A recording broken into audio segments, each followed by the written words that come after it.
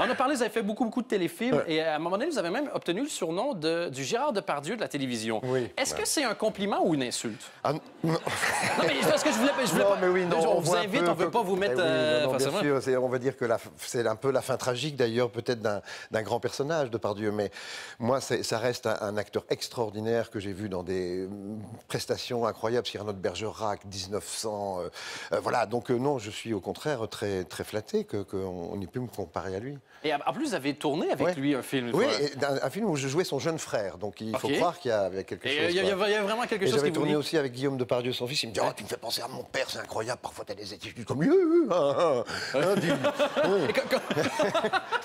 euh, euh, Allez, on y va. Les- Ba- balance ta réplique, balance ta réplique. C'est la première chose qu'il m'a dit. hein. Bon, à- Sérieux? à, peine dit bonjour. Le, le réalisateur me dit euh, Voilà, il y a un travelling. Tu attends d'être à la fin de l'escalier qui faisait 15 marches pour lancer ta réplique. On est à la première marche. Il me fait Balance ta réplique, balance ta réplique.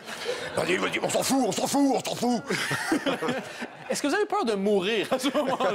Oui, c'est sûr. Donc, vous avez deux options. Le réalisateur va être fâché ou, ou- ou je vais être frappé par Gérard Depardieu. Fuck le réalisateur. On va, on va- Il est hyper intimidant, j'imagine. Il est plus Oui. grand que nature. Même physiquement, Ah il est oui, plus oui, grand que nature. Mais c'est un, un personnage hors norme. Moi, je me souviens de dans ce film-là, il y avait à un moment donné un cochon qui- qui- qu'il devait tuer, et en fait, le cochon avait tu- été euh, euh, tué à l'arsenic par le vétérinaire. L'arsenic, c'est un, un- un poison très dangereux.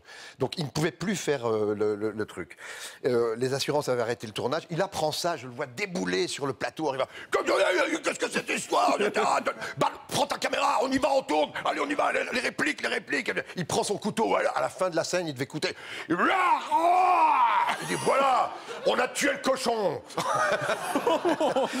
et et c'est des choses comme ça qui le, qui le transportent, parce que voilà, c'est une chose exceptionnelle à vivre. Moi, je me souviens à la cantine après, parce qu'il m'invitait à boire, allez boire un coup. ouais. 180 films, tous bourrés. Il y en a 30 que j'ai fait où j'étais sobre, tous des merdes. Donc je continue de boire.